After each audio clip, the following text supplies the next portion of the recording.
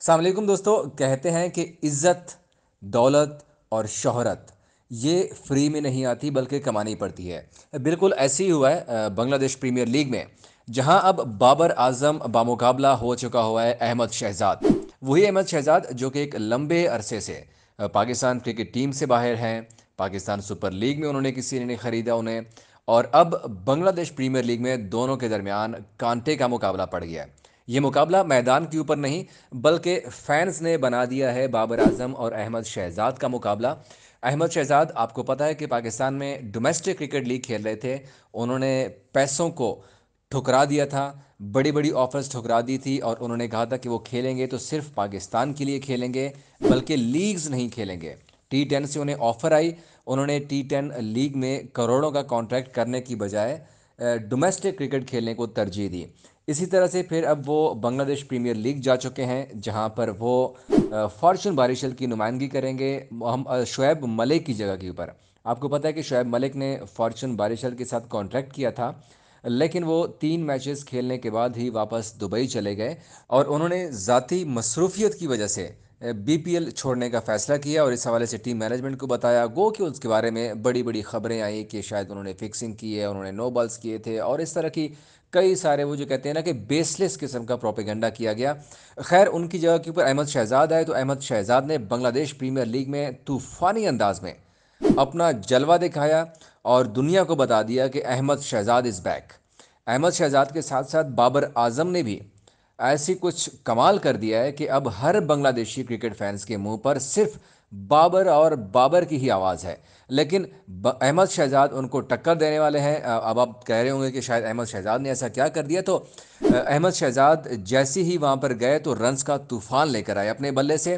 Fortune बालिशर की जानब से उन्होंने पहला मैच खेला और सत्रह गेंदों पर उनतालीस रन स्कोर किए, जिसमें दो छक्के और पाँच चौके भी शामिल थे। अहमद शहजाद की तारीफ़ इसलिए हो रही है क्योंकि वो ओपनिंग करने आए थे और ओपन किया और जैसे ही ओपन किया, वो बग़ैर रोके टोके ये नहीं कि बॉल को बीट करें, उन्होंने तूफ़ानी अंदाज से खेलना शुरू किया और ताबड़तोड़ हमले शुरू कर दिए मुखालिफ टीम के बॉलर्स के ऊपर। तारीफ़ें ये हो रही हैं कि अहमद शहजाद का स्ट्राइक रेट चूँकि दो सौ उनतालीस से भी ऊपर था तो ये बातें चल रही हैं कि अब शायद अहमद शहजाद चूँकि बाबर आज़म से अच्छा खेले हैं। अहमद शहजाद जिस तरह से खेले हैं, इसी तरह से पाकिस्तान टीम के बाकी खिलाड़ियों को भी खेलना चाहिए। क्योंकि अहमद शहजाद का स्ट्राइक रेट बड़ा अच्छा था जबकि दूसरी जानब बाबर आज़म के स्ट्राइक रेट के ऊपर काफ़ी तनकीद हो रही है। आ, कुछ फैंस कह रहे हैं कि बाबर आज़म को अपना स्ट्राइक रेट बढ़ाना चाहिए। अगर बाबर ऐसे ही कछुए की रफ्तार से खेलते हैं मतलब डिफरेंट किस्म की बातें हो रही हैं। अब अगर मैं बाबर आज़म के बारे में बताऊँ आपको कि बाबर आज़म बांग्लादेश प्रीमियर लीग में क्या कर रहे हैं ताकि आप खुद दोनों का कंपेरिजन कर सकें कि कौन अच्छा है और किसकी इनिंग सबसे अच्छी है कौन सा मैच विनर बॉलर है, या सॉरी मैच विनर बैटर है तो बाबर आज़म रंगपुर राइडर्स की नुमाइंदगी कर रहे हैं। अभी तक तीन मैचेस ही खेल चुके हैं रंगपुर राइडर्स की जानब से, और एक मैच में मैन ऑफ़ द मैच का अवार्ड भी ले ओढ़े। बाबर आज़म ने अभी तक बांग्लादेश प्रीमियर लीग में दो फिफ्टीज स्कोर किए हैं। जो गुजशत रोज़ मैच हुआ, उन्होंने छियालीस गेंदों के ऊपर बासठ रन बनाए, जबकि सिलेट स्ट्राइकर्स के खिलाफ उन्होंने उनचास गेंदों पर छप्पन रन की इनिंग्स खेली। और इसी तरह से खुलना टाइगर्स के खिलाफ उन्होंने आठ गेंदों पर सिर्फ़ दो ही रन बनाए थे और आउट हो गए थे। अब इनिंग्स की अगर हम बात करें तो जो 46 गेंदों के ऊपर बासठ रन की इनिंग्स बनाई बाबर आज़म ने, उस मैच में Babar Azam player of the match का अवार्ड ले उड़े थे। और इसी वजह से, क्योंकि बाबर आज़म जब खेल रहे थे तो उनके साथ जो बाकी बैटर्स थे वो आउट होते जा रहे थे। मतलब विकटें साथ साथ गिरती रहीं, बाबर आज़म अकेले डट कर खड़े रहे। और जैसे वो एंकर रोल प्ले करते हैं।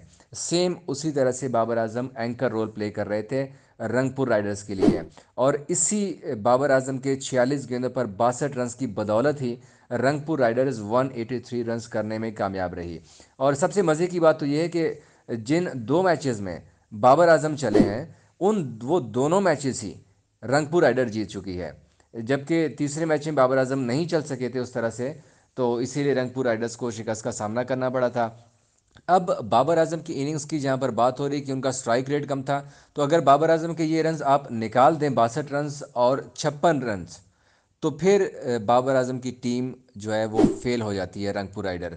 तो अब कुछ फैंस ये कह रहे हैं शायद कि बाबर आज़म अगर एंकर रोल प्ले नहीं करते, बाबर आज़म की अगर फिफ्टीज़ नहीं आती तो शायद रंगपुर राइडर्स आज जो मैचेस जीत रही है, वो मैचेस भी जीत नहीं सकती।